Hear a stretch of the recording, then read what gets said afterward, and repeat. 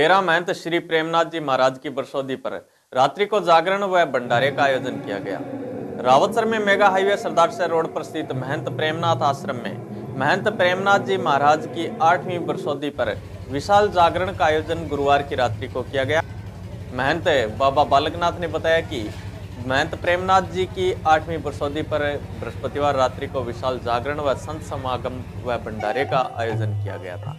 जिसमें आसपास के क्षेत्रों से सैकड़ों की संख्या में संतों ने भाग लिया। गुरुवार की रात्रि में विशाल जागरण का आयोजन किया गया व शुक्रवार की सुबह विशाल भंडारे का आयोजन किया गया।